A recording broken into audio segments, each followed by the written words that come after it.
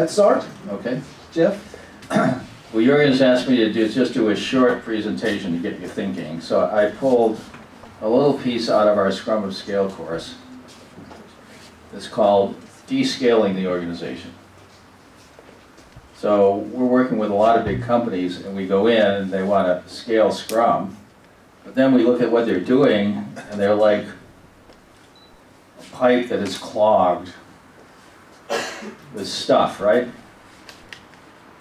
So if you want to brew more cappuccino and the cappuccino machine is not running very well and it tastes bad, the first thing you need to do is descale the machine, right? So recently I used to be a professor of mathematics. So I've always been about the numbers. The whole creation of Scrum was numbers driven. So here's the numbers I'm seeing right now in our large clients. If we go into a client that has a thousand developers, and we're working with many of them, and we go in and start doing assessments, we find on the average, 30% of the people don't have a clear backlog, and they're doing work that has no useful business value to the organization. Because if you don't give developers clear direction, they self-generate work. And even though this work may be useless, it actually gets in the code base and then you have to maintain it the next 20 years. The other thing we've always known is that 65% of features that are delivered in software projects on the average worldwide are never or rarely used by customers. And we've been doing a lot of work, you know, with lean metrics and the average process efficiency we see is around 15%. This is the, the, the real work time divided by the calendar work. And, and how many are using JIRA? Most of you, okay, so you can go back and get that number for your Scrum teams. All you have to do is make JIRA calculate, okay, if this story took this much work, how many days did it take to get to done? And you will see something that takes an ideal day of work often takes more than five days to get to done. So that pushes the process efficiency down to 15%. What we know from lots of data from a CMMI5 company that can deliver a virtually perfect waterfall or Scrum that if teams push the process efficiently over 50%, their velocity will double. And that's every team. It is impossible not to double velocity if process efficiency goes over 50%. But anyway, if you look at the real numbers of what's going on and you multiply them together, we see that the average software company production is only 1.5% of what they could be producing. We always said, you know, everybody's only using 10% of their brain, right? It's even worse than that. now, when you first look at these numbers and take them seriously, it's, it's shocking. But actually, is huge good news in this. The opportunity for improvement is so great. Almost anything you touch with some understanding is going to double in production. So that gives a unique opportunity for you in this room that are that are thinking in the agile way to look like you have superpowers when you go back into the organization. Now, in order to start fixing this, what, what we're doing, we do a lot of work now all over the world. I have people at British Petroleum in London today. I have on the West Coast. We just did a train, a trainer session at Boeing all last week. Uh, what we've learned is that you really do not want to scale. You don't want any more of this. If you have a, a thousand people at 1.5% production, you don't want 2,000 people at 1.5% production, right? That, that just gives you even bigger headache. even if it, even if they're using SAFe, it's gonna give you a bigger headache.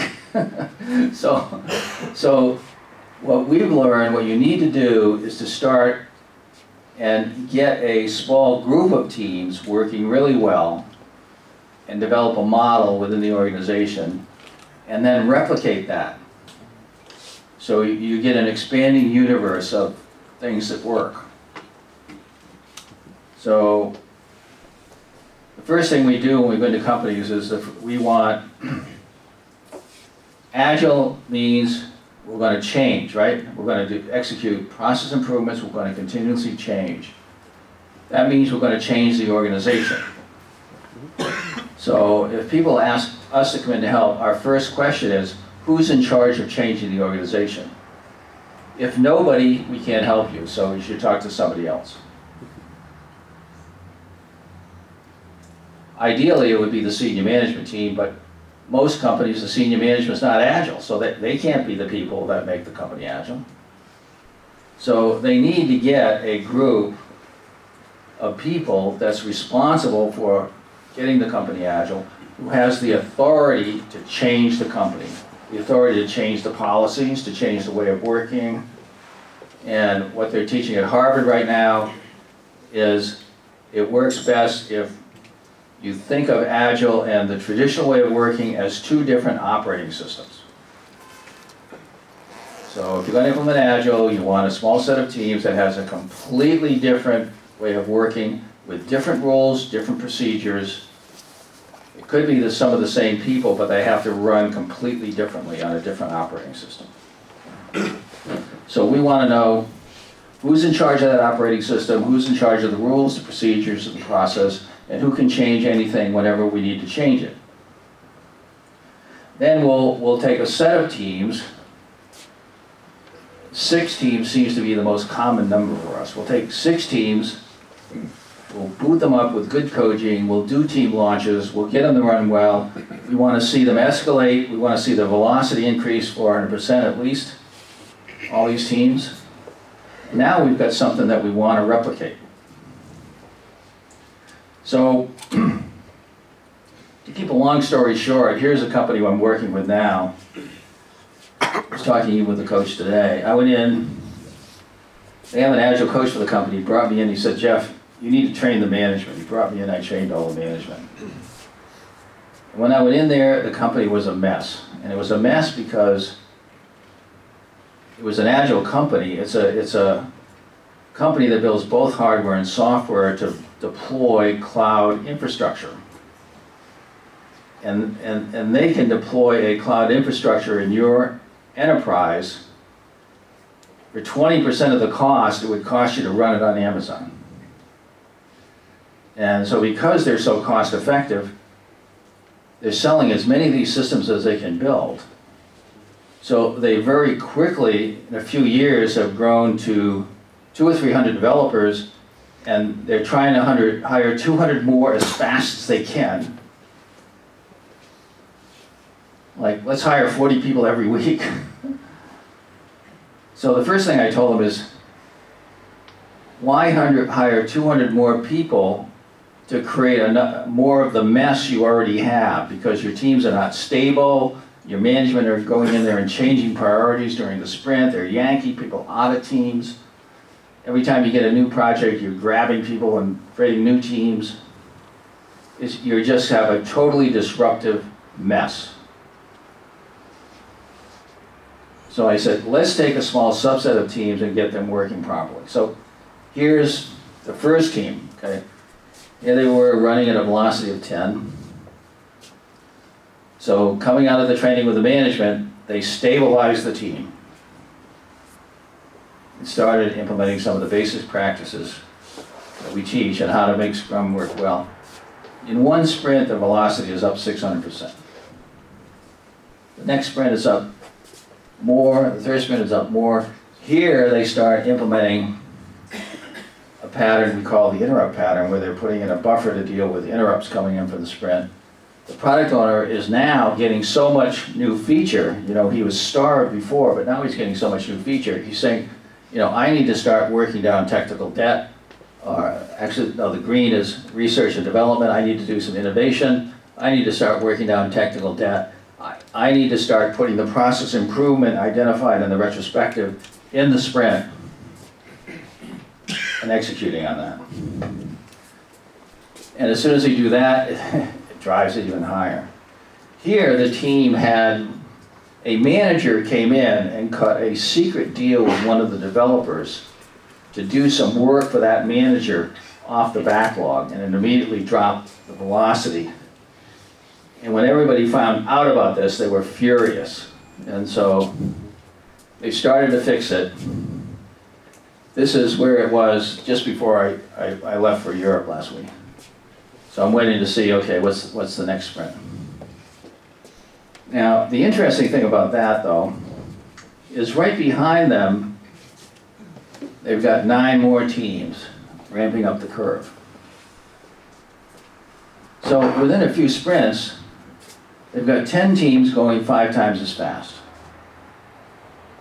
That means compared to their old 10 teams, they have the equivalent of 50 teams. So they got 40 teams for free. Their teams are typically around the size of seven. So they got 280 free people without hiring anyone. That's what we're calling descaling Scrum. It's definitely not safe.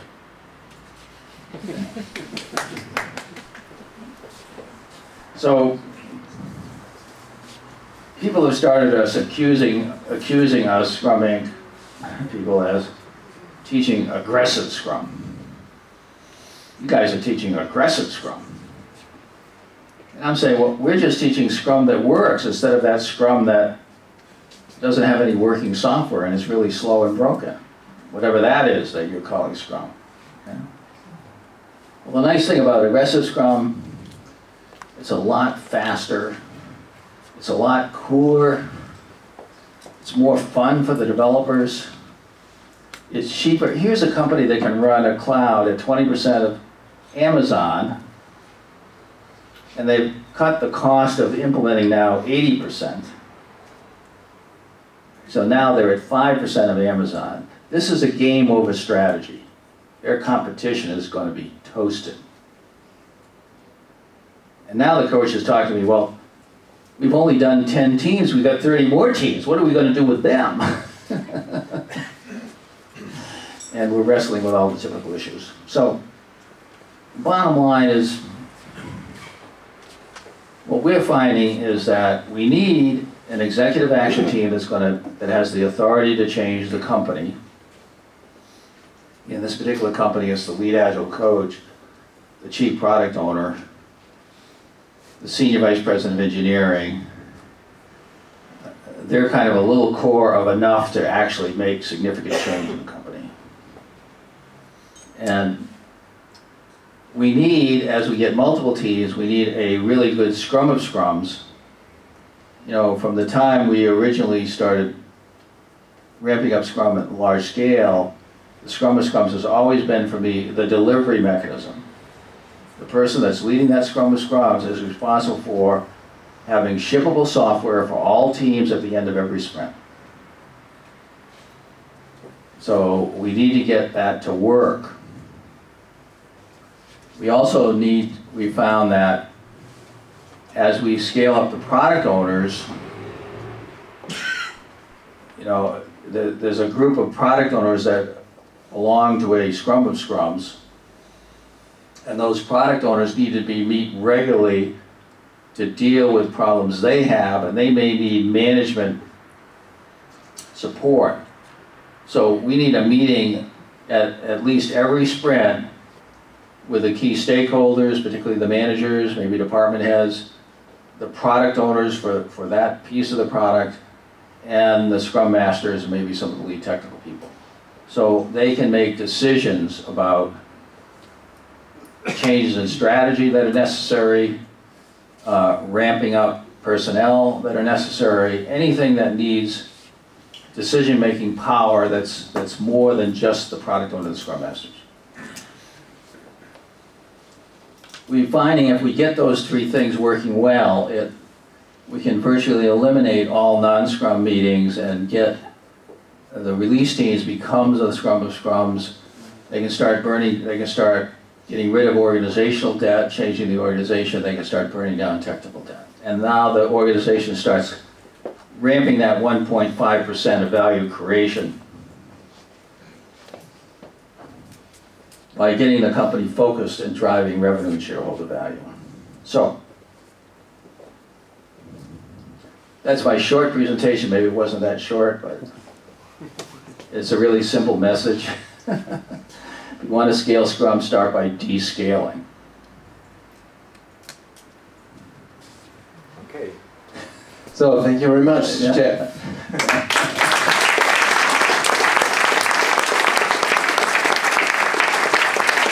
So maybe just a first statement from my side. Uh, I know when I when I met you, I didn't met you actually. I, I saw you first when you were at Telefonica, 2010 or 2009, something somewhere. Yeah. And you were, at that time, you were also talking about if you don't double production within two months, you do something wrong, and so on. And 400% production increase and whatever. At that time, I was in a, I was in charge. I was a manager for about nine years at that in this organization. We were struggling with performance improvement pro pro programs to gain 10% or 20% production improvement. So it was nearly incredible at that time. And I don't know how people feel here. I think sometimes if you're not digging into that, and now I'm totally convinced of that, but at that time I think in, uh, it's very hard to believe that. Right. So uh, I don't know how people feel here so about this kind of numbers. But now I would like to open up the discussion. And uh, yeah, some questions regarding that or something else to Jeff. Who wants to start? Maybe you try, try to speak up if that works. Otherwise Okay, I- right. Uh, Hello, Jeff.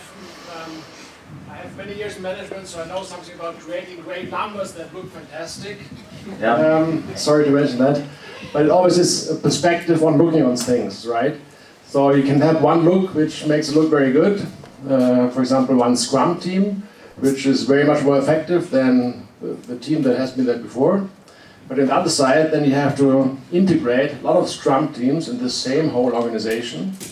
And then the question is, or then some other problems come up the integration part of, uh, of these teams. So my question would be, when you look at the total organization, including obviously the role of management, uh, what would be your um, advice how to overcome integration problems that you always have when you go on larger scales in larger organizations? Well, what I, again, what I found, I mean, I've been on 11 senior management teams. And um, virtually all of them have been Scrum companies. And I've never had a problem doubling production across the company. Um, Even in a a fairly large company, which is now GE Healthcare, that had many, many hundreds of developers. But what I've realized is, is in order to do that, you need to, you need to implement it in a way that makes sense. And that always means you need to get a core of teams working really fast that serves as a model for the organization, and then you need to spread that across the organization. So that's what I'm talking about here. And today, when I work with a venture capital company, they're only, in- they, they are only interested in production at the beginning. They want to be able to measure production so that they can be- have consistent deliveries. But that, they, we only spend twenty percent of that time on that. The other eighty percent of our time we spend on the front end of that process, the marketing, the sales, the senior management team. Because if we double production, we want at least double sales, and then we want at least double the profitability and we want to scale the stock price. So I've worked on with fairly large publicly traded company whose stock price went up 400% while we're implementing Scrum. That's what we like to see. I've worked with an $80 billion company with the stock doubled while we're implementing Scrum. Not as, not 400%, but the stock price doubled. So that's what I'm talking about. At the end of the day, we want production to double and we want to see the stock price double. Would you see this potential for traditional industrial companies uh, as well? I think software companies? I think any company can do this, but it requires good execution. And you start by getting teams that are working really well, and then you spread that model throughout the company. So at the end of the day, you're, you're, you're not only producing and selling more, you're actually making a wave in the industry.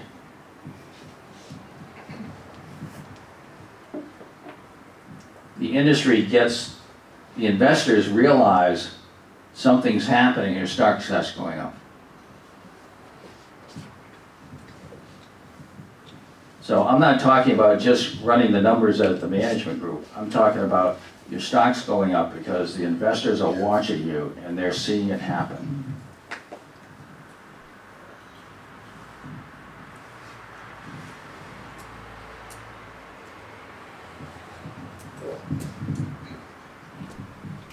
Hi, From a company we were doing um, agile in software that telecommunication.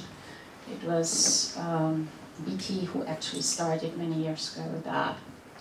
And my question is, how do you see the interfaces between the teams? Because you have pretty complex systems, and even if you go down to, to putting up features to be as simple as possible, uh, you simply cannot ignore that there will be overlappings and there will be interfaces, and these interfaces create problems because some people are missing important points on those interfaces. How do you deal with that, or how? What is your experience in that? Okay, what, what we see in companies like British Telecom and all the telecom companies is that they have so many teams and so many servers out there and created such a complex spaghetti of you know, interactions. Uh, I mean, we've got a, a great uh, uh, picture from a recent paper. You couldn't put in the paper that it was Skype, but it is Skype. And it shows the teams and all the, the dependencies across the teams. And it is a rat's nest. So the problem has nothing to do with Scrum. It has to do with organizational debt. A management group that has created this rat's nest of responsibilities that in turn has created this architectural nightmare that creates a rat, rat's nest of technical dependencies. And so that needs to be unraveled. So I, I, had a, I, had a, I had some teams from Ericsson working on their latest generation technology. They said, we're doing Scrum, every iteration, the box is updated, and our box runs any protocol that's run anywhere in Ericsson. For every other group, they have 17 groups that all need to figure out how they're going to update just to do what we do in one sprint. So for at least this small piece of Ericsson, the management has done the job. Get the organizational mess fixed, drive the architectural debt out of the system, and get something that really works.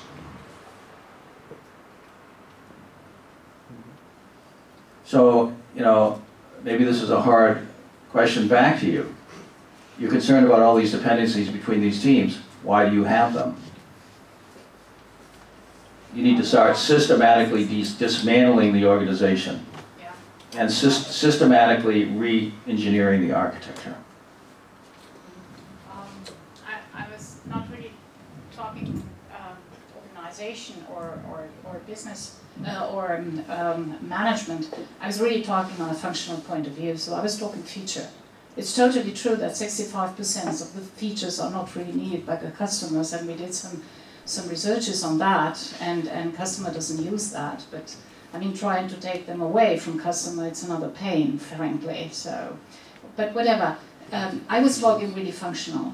So you have a complex system, and I'm talking about very complex systems, and you go down and, and you scale them down as far as possible on a functional point of view, but you always have overlapping slide. You also have some deep connections between them, and automatically you get to those deep connections between the teams, and you get somebody in one team forgetting about a crucial things that can hmm. happen.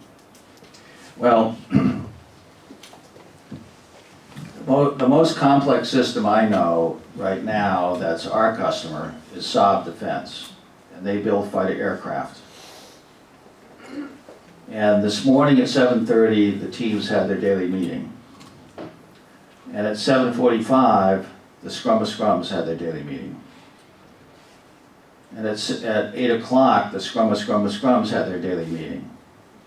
And at eight fifteen, the Scrum of Scrum of Scrum of Scrums had their daily meeting. And at eight thirty, the senior management team had their Scrum meeting. And any impediments they identified floating up, the job of the senior management was to make them go away today. So my first question is, in your tremendously complex environment, do you have that set up properly? The scrum to the scrum to the scrum. Because that means today, the senior management would be asking the question you're asking me and starting to figure out how they're gonna implement a plan to crush that problem. And every day it's not crushed, the senior management will be asking, why isn't that fixed?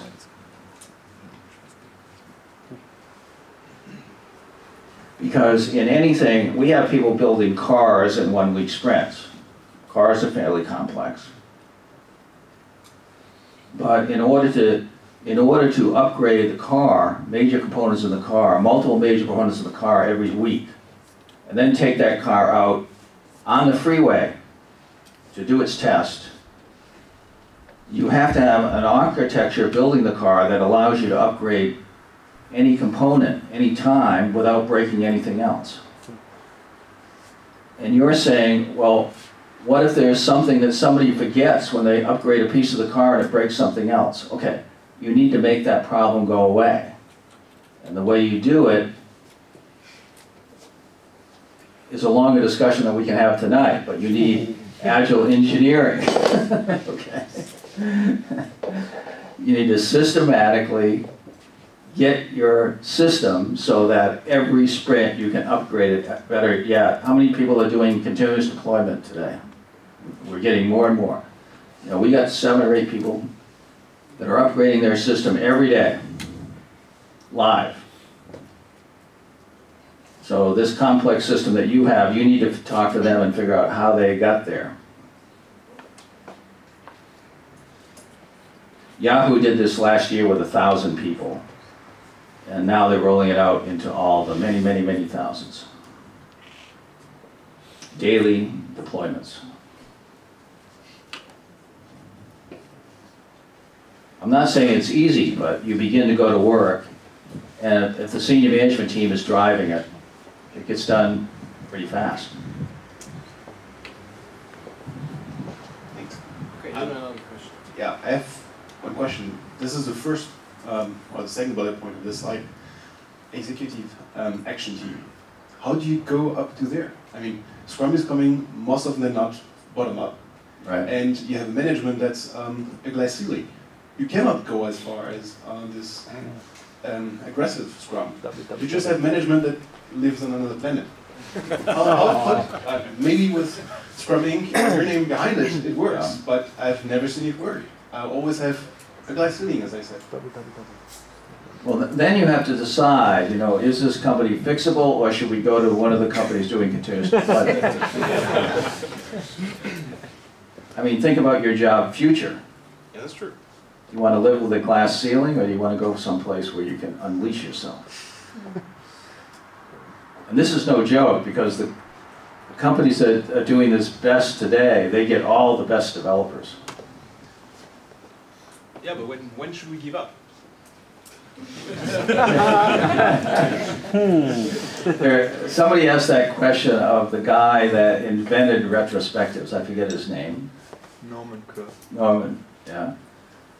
And his answer was, is there any hope?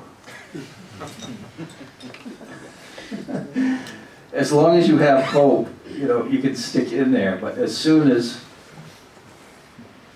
decide there's no more, there is no hope, then, then you need to move and not, not mess around. Yeah, And maybe with your move you can change the organization because then they realize. Might.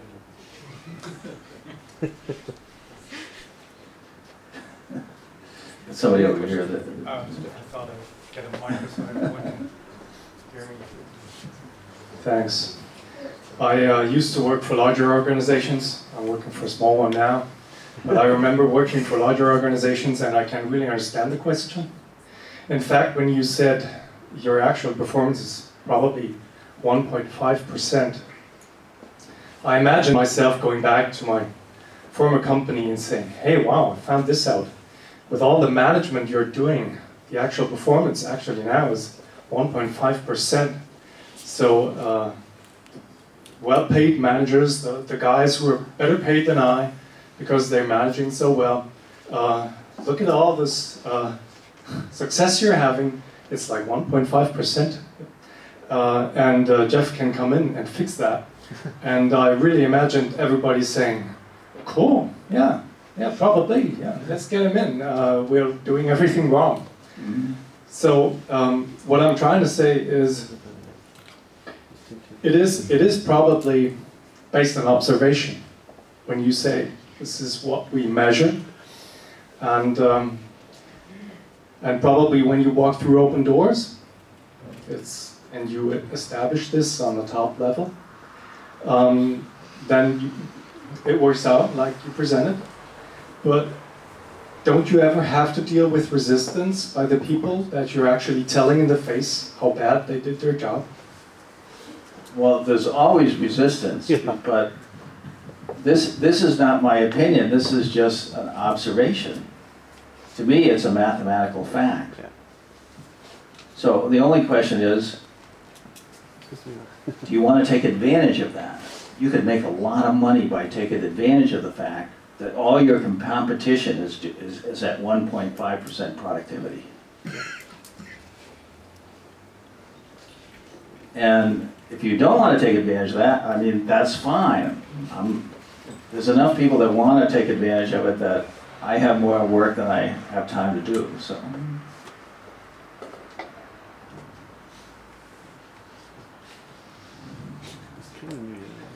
And I'm not here, I, you know, I don't need to do this. The only reason I do it is because it's an opportunity for such radical change. Mm-hmm.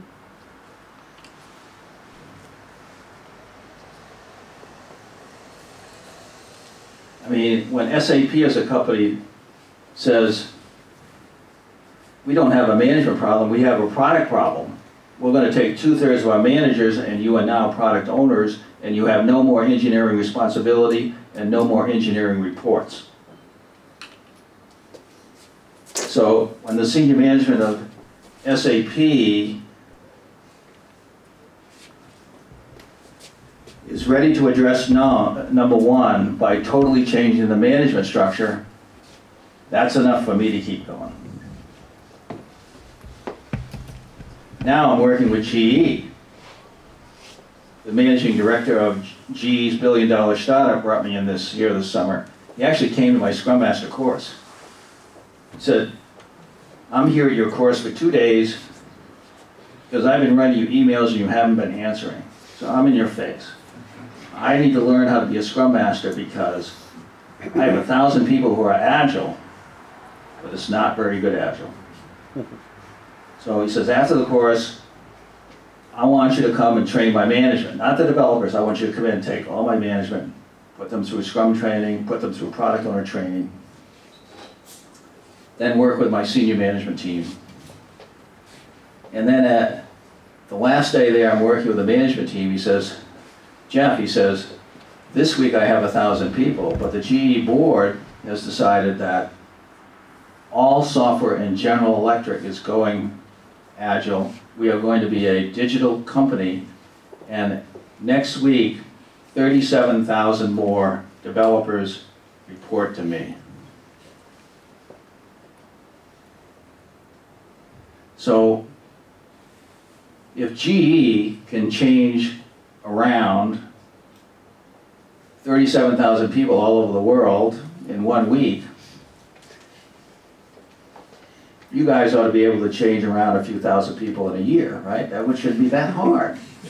It's all about management making a decision, having an agile mindset, and then acting aggressively.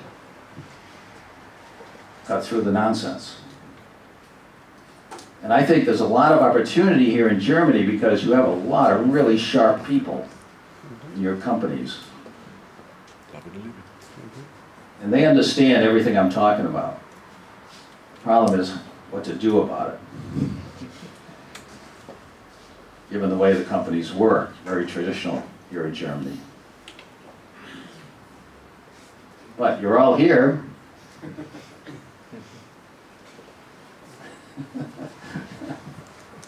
Thanks a lot.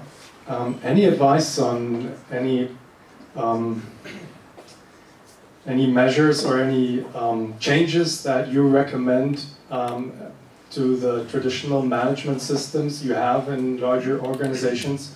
For example, usually you have uh, performance appraisals and uh, career paths and all that kind of thing, which to me seems a kind of incompatible with uh, strictly Scrum organized organization. So, any recommendation on uh, trash everything Well- into the trash or The first thing you should get rid of immediately, and this is an easy one, is every time I've come in as, as head of engineering, as CTO, or sometimes CEO of the last 11 companies, my act, my first day act at 8 o'clock, the first day, is to abolish timesheets.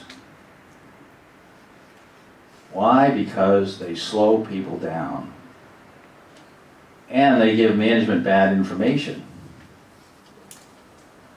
Because the developers at the end of the week, they're filling out this timesheet, they don't know where to put their time because you know, they don't have a budget for this, but they worked on that, so they, they fake the information, and then they, they leave, they're kind of really irritated. You know, I had to lie in my timesheet again. Now, up at the management level, they're reading all these fake timesheets, making decisions on fake data. How many are ready to give up timesheets? Well, good number. If you're ready to do that, this is the test. Are you ready to go to the next step? Performance appraisals demotivate people. The research clearly shows that. Not only that, in the last year or so, they've done an analysis. If you do a performance appraisal on a person, is that a performance appraisal of the person or the manager writing the appraisal? And they did some correlation analysis and they showed that the performance appraisal on the person is really 70% of it is about the manager and only 30% of it is about the person. So now you have at the senior management level, you're reading all these performance appraisals. and it's really more about what the manager had for breakfast than it is about the person they're rating. So Google doesn't have them and they're winning. That's what you need to understand. Now, it doesn't mean they don't have ways to organize, motivate, and align the company. They do. But they do it differently than our traditional performance appraisals. What else should you get rid of?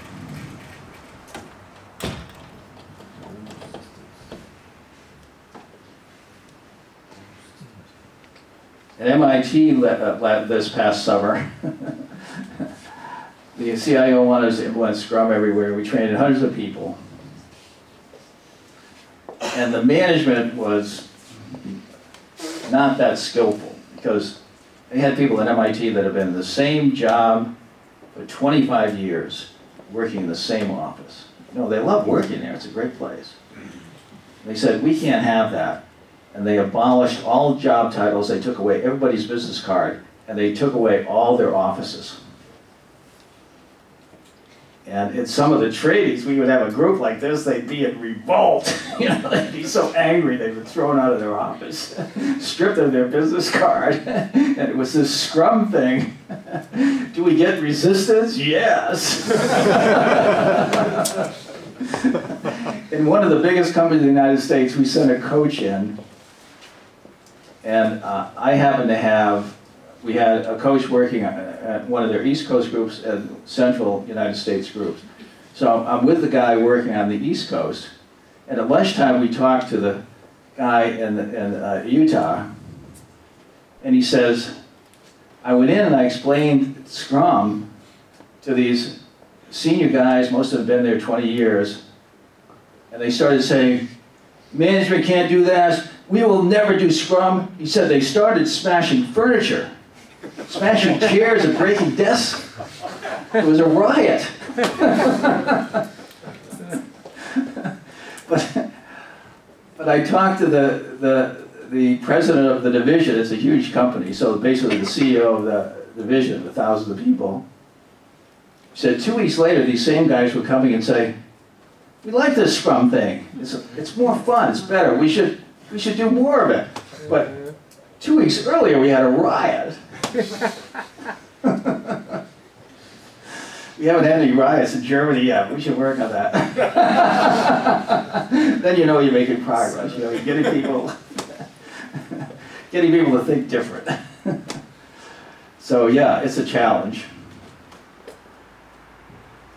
But hey, you know, life is short. Why not have fun while you're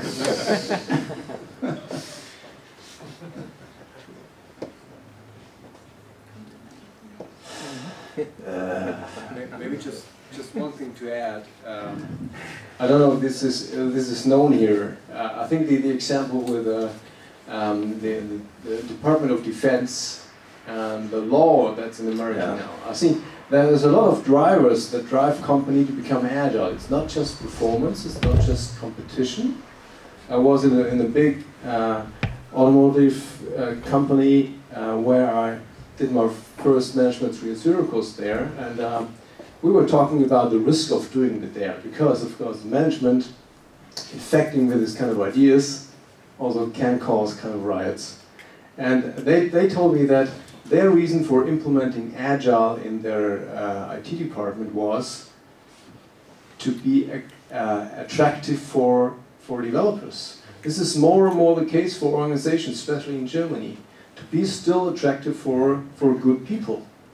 And as I said, by, by just leaving an organization, you make a statement. And, and this is more and more uh, a, real, a real case. I have clients who say to me, um, we are happy that we have this Scrum thing here. There was a, an HR department head who told me that. And I said, why? Are you doing Scrum by yourself now in HR? No, it's just every, every uh, interview we have, people ask me about Scrum. If I would not be able to offer that, they would just turn around and leave. And I think that's the same in America as well. So it's a lot of drivers that, that open up the eyes for management, not just to do the Scrum thing for being cool and productive. It's, it's a lot of drivers. And maybe you, you have a comment on the, uh, on the Department of Defense on this. Yeah, well, for really traditional organizations like the Department of Defense, or the U.S. Post Office, sometimes the most effective approach, and also in high compliance organizations, where you have to comply with whatever, is for it to be the law or the regulation that you must be agile. At the post office, they started implementing Scrum, and they're under pressure to not lose money, to stop losing money. And they said, you know, it's, it, it takes too long and it's too much a headache and there's too much resistance. So we're just going to make it the regulations of the U.S. Post Office say you are doing Scrum, and if you're not, then you're going to work someplace else because you violated the government regulations. In the Department of Defense, some smart congressman put in the Defense Appropriations Bill a piece that said all Department of Defense IT contracts must be agile. And that occurred three or four years ago, and the Congress immediately demanded that Department of Defense prepare them a report on how they're going to take DoD Agile. They then asked me, the head of uh, IT for the DoD, asked me to come down. He actually came to my Scrum training class, and then he asked me to come in and brief the Pentagon. He said we had 12 cross-service task force for all the major areas, all the healthcare systems, all the intelligence systems, all the command and control systems. And I want you to come down to the Pentagon for a day, and we're going to talk about, okay, what's our strategy for reporting to Congress and beginning to execute Agile? Uh, out of that, they wrote into the government regulations, they actually copied the Agile Manifesto into the government regulations. It says this, what's, this is what it is. The government accounting office started to come in and evaluate teams and writing up all the problems and defects in Scrum, which, and they were actually quite good. It looked like an Agile publication said, you know, here's all the things that can go wrong with Scrum. so you got the government accounting office rating you on your Scrum performance. And uh, this past year, well, first of all, you know, this is a long story, but we started by training a Danish CMMI Level 5 company in Scrum in 2006. And they work on big government projects, fixed price, and they were partners with Lockheed in the United States, working on some U.S. defense business. And they told me, the group at Lockheed we work with, they don't do Scrum very well, but at, at, at, at least they're at least they're doing Scrum. So a division of Lockheed comes into the Department of Defense and makes a bid on a big radar system using the pricing strategy of the CMMI-5 company in Denmark, who has discovered Scrum delivers everything at half price, and they offer two bids to all customers, waterfall bid and Scrum bid. The Scrum bid is half price and guaranteed to have 40% fewer defects, plus or minus 3%. So Lockheed went in from the US and took away this $400 million radar contract that one of our biggest defense contractors had had for five or 10 years they had to lay off hundreds of people. And the management came to us and said, Jeff, the government has told us we will never get another contract if we're not half price. We are right now preparing a bid for a billion dollar Navy destroyer. And we need to come in with a $500 billion bid. And if we can't deliver on that, it could bankrupt the company. So we need to start implementing Scrum, but it needs to be aggressive Scrum because it has to be Scrum that works. You can't have this make-believe Scrum that people do that, that doesn't deliver stuff at half, half the price. So they told me recently, they said, we cheated a little bit, we didn't bid 500 million, we bid 600 million. Gave us self a little, a little buffer. We, but we have to deliver at half of what we used to deliver at. So that's what's happening in the US. And so the best thing in the world is for you to face bankruptcy if you don't do Scrum well, because then you then you'd get your act together, right? You'd figure out how to do it. It's a famous quote, the prospect of a hanging in the morning delightfully focuses the mind. Yeah. Go ahead, you got the mic. I have a kid and we have happy birthday parties and we like the game Flüsterpost, silent post. So one kid say to other kid something silently to the next kid, to the next kid, to the next kid, to the next scrum, to the next scrum, to the next scrum. My question is, you have at least one example where you failed to double the productivity of a company there are lots of examples. Okay. Not in companies that I've been running, but in companies I've been coaching because in order to double the productivity, you actually have to execute well. And I, I tell them what to do, and some companies won't do it. So one of the biggest companies in America brought us in the beginning of, of last year, and we worked for them for six months, and they wouldn't do what, what we told them to do, and we actually negotiated our way out of there. And our you know, our conclusion was that was a total failure. We never should have worked with these people in the first place because they were upset, and so were we. So yeah, bad things happen. How many times does it happen that? That's the only, that's the only one I've had in recent years. Um, where I've had that kind of situation where, you know, it just was a bad idea from the beginning because the company was not ready to change at all. Why? Well, the CIO said, we're five percent agile, we need to be fifty percent agile yesterday, that's what he said. But when it came, when it came down to taking action with his management to make that happen, the CIO was, well, you know, we can't do, he was a politician, not a person that could execute. So, they're one of our biggest, most successful companies. They're, they'll be fine. They'll just have, you know, the smaller companies nipping at their heels, taking away the business. What's the average lifespan of a company today? Anybody know that? I was reading an article on that in the Harvard Business Review. Ten years? Fifteen was what I read. And within fifteen years, maybe it's slower in Germany because you guys kind of move, it's like, but Within 15 years, half of the people in this room will be working with a company who's dead. The survivors will be more agile than the dead ones. I mean, so we have a lot of managers that are just interested in, you know, surviving this year, getting their bonus this year, and not really worried about the company, whether it survives, they'll go get another job. And that, that's a problem.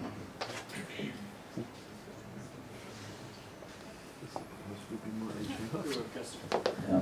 Hi Jeff, I'm Anita. Um, I want to learn more about how do you um, design your pilot projects, your very aggressive team. How do you choose the people? How do you choose the project? What do you take into account to define this pilot setup? Well, people usually call us up. Right now, we get a lot more senior management calling us up. They read this book, you know, the book Scrum the Art of Doing Twice the Work in Half the Time, which is written for managers, really. And uh, this one big company we're working with now, the CEO called me up and said, you know, I thought it was hopeless. My company is so dysfunctional. I thought the only answer was to jump out the window. Then I read your book. I saw a ray of light. she says, I want you to come in and start coaching me. And I, couldn't come in, it was like three months in my schedule before I could get in there. So she said, well, send some coaches in that they can work at a low level for the next three months. And uh, by July, when I went in there, she said, all my management will be changed so they're ready for you. So that was a good sign. Got somebody that's serious. And so when, when I finally came in there, it was changed. And I had a management, a leadership action team that, with, that said they were ready to work. So it was really interesting. They committed to within a quarter to get all the teams with a clear backlog, so they knew what they were supposed to do and the priority they should do it in. And three months later, nothing had happened. So this is quite common. So we're actually working at a low level where, with coaches in multiple parts of the United States. So we said, you know, to the Agile leader, they did have some people responsible for this, you know, we need to get some senior coaches in there working with the management team and get this back on the rails, which we have. And we need to exit, we need to go back to basics and start executing what we call, we're calling it now the bang bang version. give us six teams, put in a couple of senior coaches and then more coaches, and in three months we boot them up. And we put in metrics and stuff like that that can be managed, and then you give us the next six teams. Then the next six teams, then, then the next six. And this company, it's gonna be a long time before we run out of teams. But what we're, what we're doing it is, you know, it's like, um, you know, the Big Bang universe, you know, boom, there's a bang and then, then it expands out. That's, that's our philosophy right now. Maybe a year from now, we'll have run through all the teams, I can tell you how it worked. We'll see. Uh,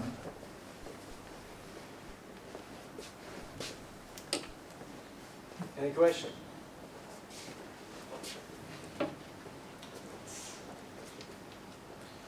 I,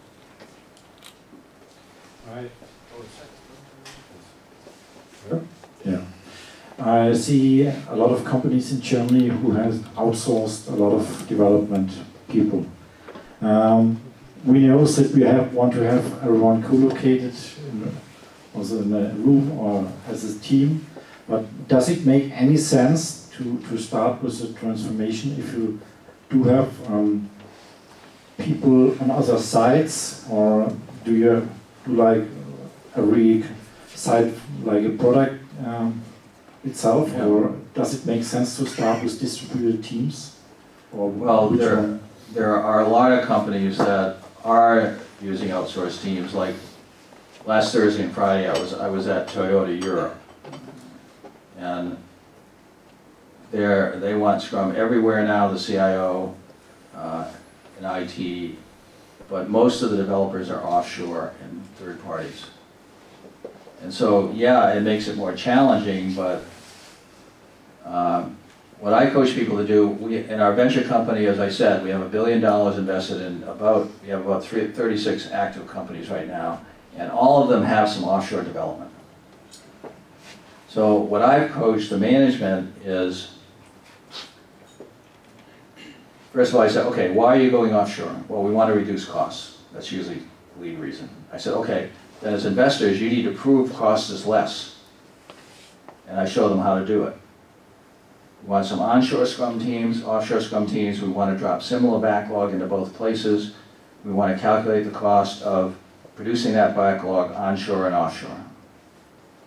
And if it costs more offshore, we terminate. And so we've terminated a lot of offshore teams. If they can't do Scrum well anymore for our venture group. Now, I've done a little bit of work with one of the biggest electrical companies in the world. And, but just spot training here and there. But one of their senior managers told me last summer, we're pulling out of China. I said, why? They don't do Scrum well.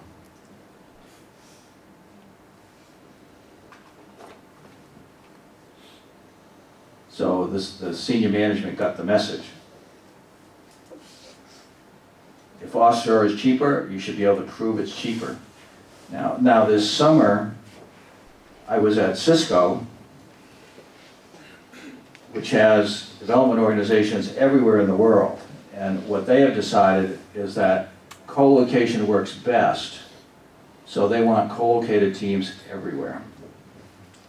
So if you're in India, you're Scrum Master and Product Owner in, in India, and now they're starting to move the product. If you're a team in India working on a product, we're moving that product to India. That means all the management, all the financials, sales headquarters, and marketing will be co-located with the developer teams. Why? Because that works best. And we do have, I have to say, some of the companies I work with now are telling me they have better Scrum teams in India than they have in the US. Because they've, they've taken my advice, measure production. It should be cheaper in India. If it's not, you should terminate them. So of course the Indians, they're not stupid. They start getting a Scrum that works. We're back at headquarters in the United States, people are still doing sloppy agile. So, so what we found in general is going offshore doesn't save you money.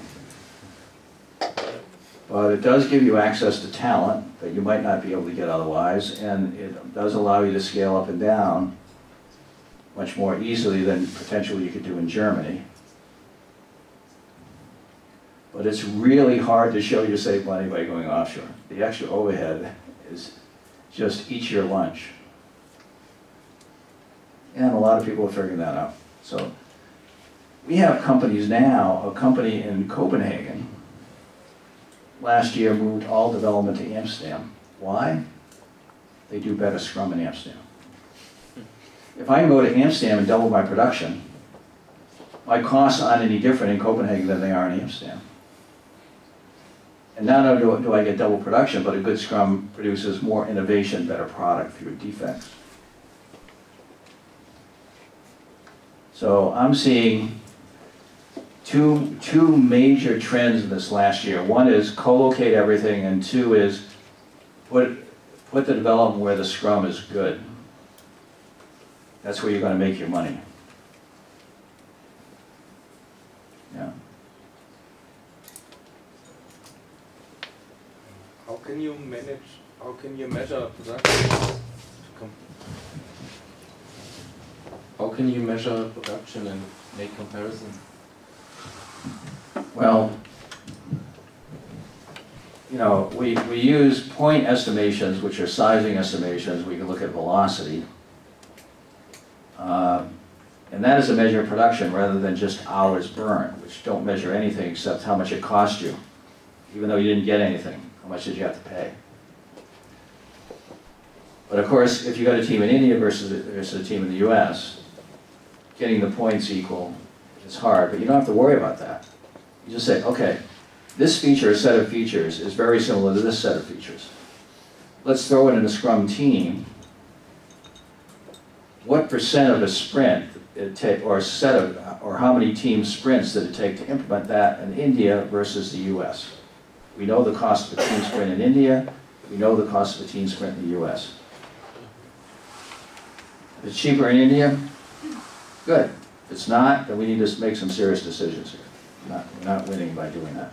So you compare a similar set of features, even if they have different uh, um, story point values. Yeah. Because at the end of the day, the financial guys know how much they pay the team. Yes. So they, they have the numbers. And that's what they're interested in anyway. They don't know points, but they do know how many euro they spent. so, isn't that good management to do that? Isn't that kind of management 101? Figure out what does it cost to do it here versus there? But how many boards of directors and management say, we're putting it there because the hourly rate is cheaper there?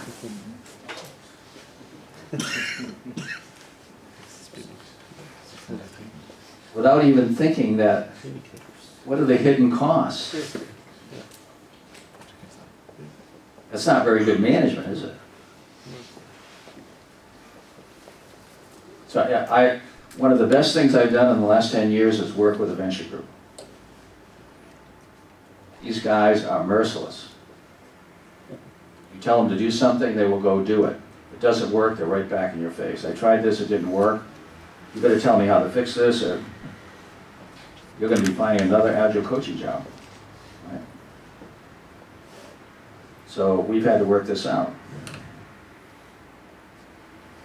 So I only tell them stuff that works, and then they go do it, and they have a big hammer that they, they're happy to use, whatever.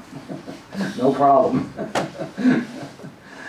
if that means changing the CEO, that's not a problem for them. they usually work at the, at the senior management level. And they'll, they'll, they'll shuffle the players if it's not working. Yeah. Uh, you talked about using Scrum for development, and how development gets better by using Scrum. Uh, usually a company has more than development. They also have sales and production and stuff like that. So is there any border where you would say, um, stop there with Scrum, don't go further because um, it doesn't work everywhere for everything? What we found is that Scrum, as the book says, you'll get twice as much done in half the time if you implement it well. It doesn't matter what you're doing. So this, this past week, uh, before I was at Toyota, I was in Amsterdam, and I had written a paper on Scrum and sales with a, with a, with a sales leader of a Dutch company. And um, I hadn't talked to him for a year or so, and so he knew I was in Amsterdam, so he drove up from Rotterdam just to have a beer with me and had a little apartment, so we were talking about you know, what's happening in sales now. Well, the paper he wrote showed how he implemented Scrum for a central sales team, and same product, same salespeople, revenue doubled in seven months. Same thing you see in development, you know, production doubles.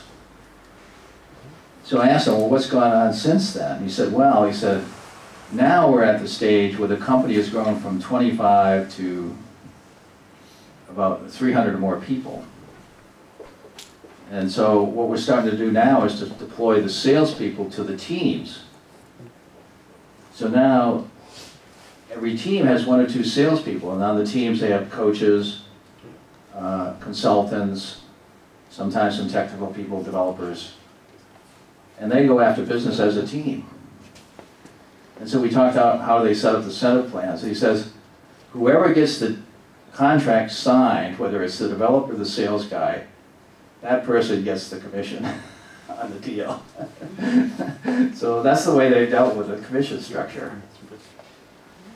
And of course, if, they, if it really is a collaborative effort, they might share it among the team. But they're working it. They're starting to co-locate and cross-functional teams in sales. And I said, well, this is really interesting. This is like Scrum and Sales 2.0. We should write another paper. so he went back home thinking about it. so yeah, Scrum will work in sales. But it is hard. We just hired a senior salesperson in my company, which runs totally by Scrum. So, and in our company, it's a small company, everybody gets the same percentage of profits of the company. They're kind of like virtual shareholders of the company. So that everybody gets, and it used to be proportioned to salary until uh, a little over a year ago, the company as a whole decided we should get everybody the same percentage because we think it will motivate people better. So we had, you know, we had the chief op, uh, the chief operating officer was like getting most of the benefit. When we did that, the productivity and enthusiasm of the company exploded. And the lowest paid employee in, this, in the company this year got more in bonus than she got in salary. So that, that's turned the whole company into a, everybody's focused on sales. But then we had to hire a we, we felt we have so many big customers now, we need somebody that has experience in managing these big corporate clients. And we also need a little more planning and sales than, we, than we're getting with. And so we started interviewing people. And then it's really interesting because what is this Scrum thing? How, what is my incentive plan? You know, do I have a quota? Well, you're on a team. You're going to get the same deal as everybody else. we went through a lot of people until we found a guy from Rally. Rally is one of the leading Scrum tools, and he had been on a team that was team incentive for many years, so, so we knew how it worked. And he's come on board, and people really like him. It looks like a perfect, perfect fit.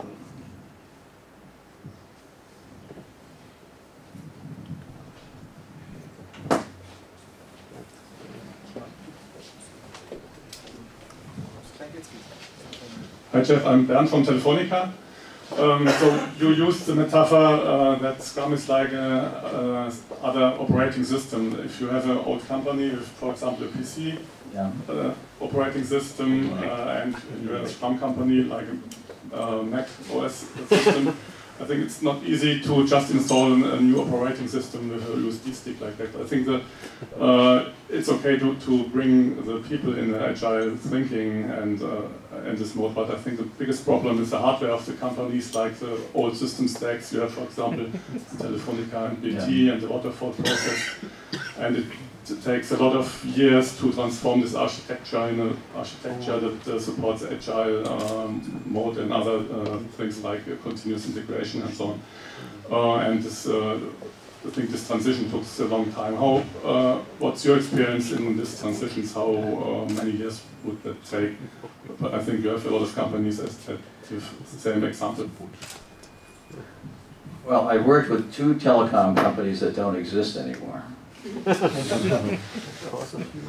Nortel was one of them, but by the time they went bankrupt, they actually had 3,000 people doing Scrum, and that was the most valuable piece of the company. They sold it to.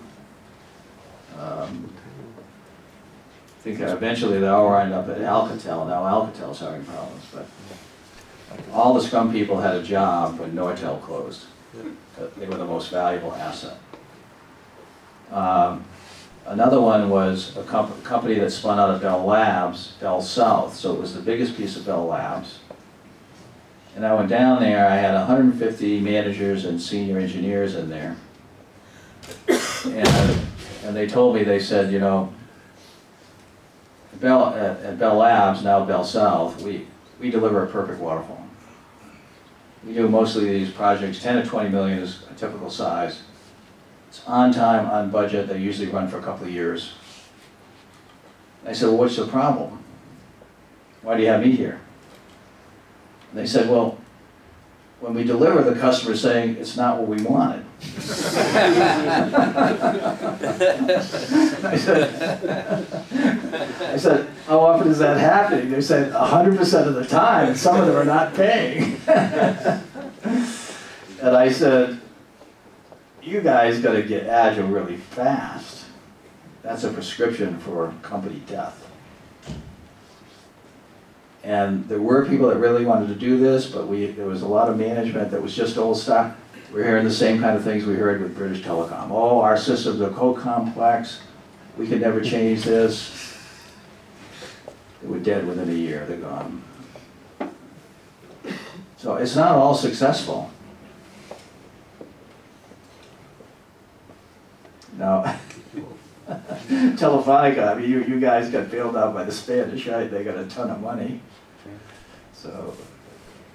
But we started uh, changing the architecture. I think we're getting better and better, and I still have hope that we can more, get more That's well, you know, the, the interesting thing about Telefonica is you guys are working at it. You're still working at it. And that's a good sign, you know hard for us to do. We're not doing it very well, but we're just we're just going to keep at it, and that that will keep, that will keep you alive, and you'll have some breakthroughs, and you know when you're you're you're better able to, ca to capture that breakthrough. What if you do have a breakthrough in architecture and technology that can really take things in a totally different direction? You'll be ready. So, you know, in general, this is an important thing. There is, in my view, no Scrum that's failed that wasn't a good idea. Because most of the great Scrum people that we have now in other companies come from a Scrum that's failed. And just as venture capitalists like to invest in CEOs who have had failed companies because they know, they know in their bones what is not going to work. Agile developers in a Scrum that fail know what to watch out for. And when they go into the next implementation, it, it ramps up significantly. So this is really, you know, again, for me, it's a learning process.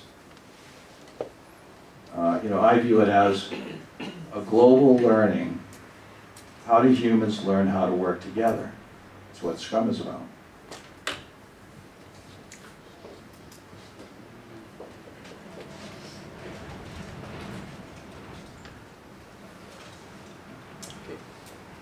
You're. Um, what's your definition of good Scrum? How would you decide if I'm doing it right or wrong? Well, when I was in Silicon Valley, uh, about a year ago, I, I had the good fortune, the book was coming out, and they, they, I was set up with, in 12 companies in five days. Where I come in, I spend time with the management, then, then did a presentation to hundreds of developers in each of 12 companies. The smallest number of teams I found in any of those companies was 200. Silicon Valley is a sea of Scrum. And in every company I said, okay, how many of you have working software at the end of a sprint? And consistently, about 20% of the people would raise their hands. So I concluded after that week in Silicon Valley, only 20% of the people are doing Scrum that works. 80% of them don't have working software. So that's, that's the second principle of the Agile Manifesto. They're not agile, no matter what they're doing. They don't have stuff that works. So that's kind of the first acid test. But then we have a way of assessing teams that's quite in-depth, that assesses every aspect of the Scrum. We can actually score companies. And um,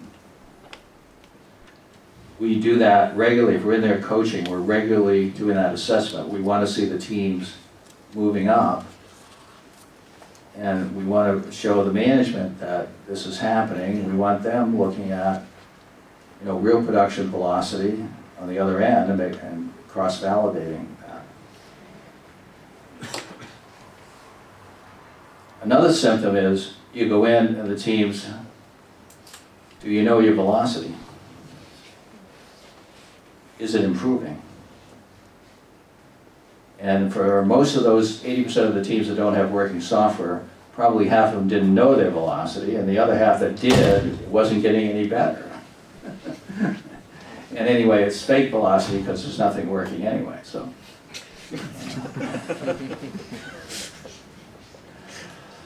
so, so it's not hard to, I mean, there's simple things.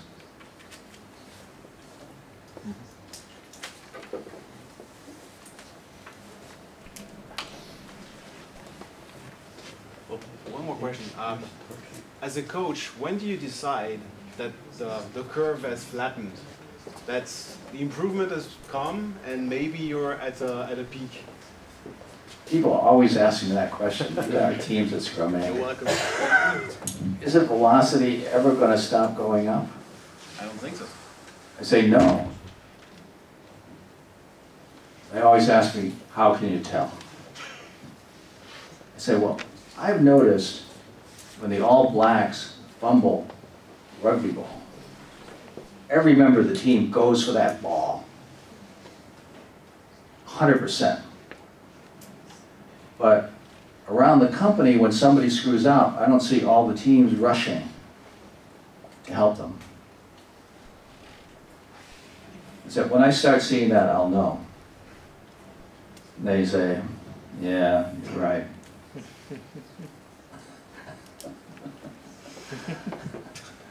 so there's simple, there's simple tests to tell all these things, whether people have reached peak performance.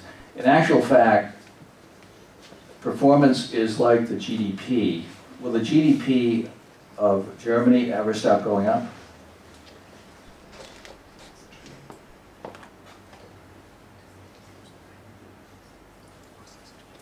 I think I'll run for prime minister next year. You know, we don't want to put too much pressure on the people.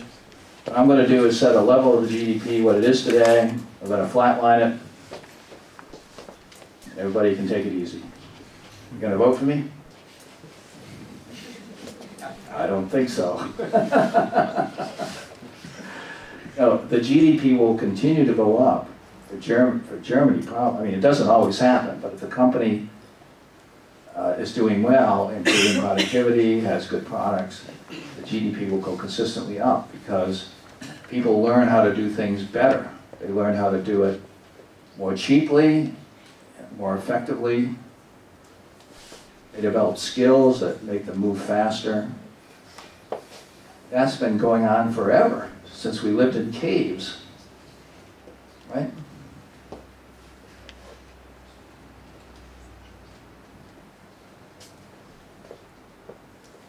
You know, what I've been taught, I went, last month, my wife wanted to go on a pilgrimage to India. I didn't want to go. Because I got so much work to do, there's so much risk of getting sick. I mean, if I got sick, I wouldn't be here tonight. She got pneumonia, she's not here. So we started on a riverboat in Calcutta, going up the Ganges River. Couple of weeks. And every morning we're doing yoga on the boat. It was led by two uh, professors of religion from Harvard. We're getting lectures every day on spirituality of the Indian people, doing a little meditating. So all the way up the river, I'm thinking, "Now, what are we doing in Scrum? Yeah. Well, we have really two types of people. There are people who are serving themselves. And then there are people who are serving others. The people that are serving themselves, they're interested in command and control. They want you to do exactly what they tell you. First, they bribe you. We'll give you a bigger bonus. If you don't comply, they threaten you. If you don't change when you're threatened, they punish you. And if you still don't shape up, they terminate you.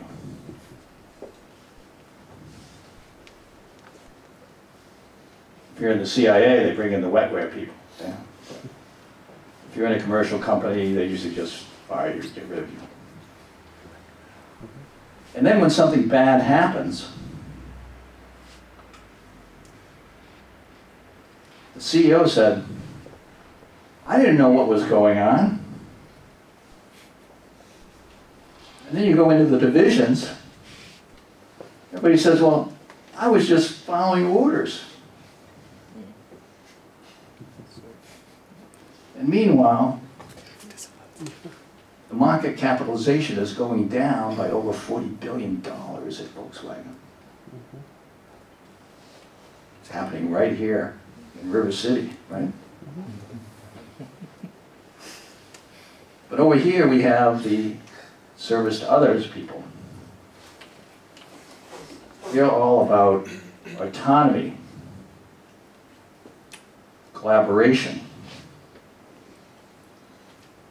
mastery, transcendent goals. I'm going to make the world better.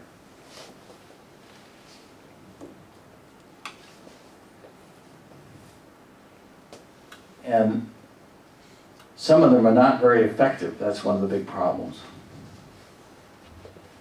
It's hard to be as effective uh, when you're well-meaning and trying to collaborate as when you're out there just giving orders and you get in a position of control, right? So. But for the service to others people, they have no excuses when things go bad. The CEO can't say, I didn't know what was going on. Everything is transparent. Everybody knows what's going on. When something bad happens, nobody can say, I was just following orders because you don't follow orders in Scrum. You're autonomous. It just completely takes away all these excuses.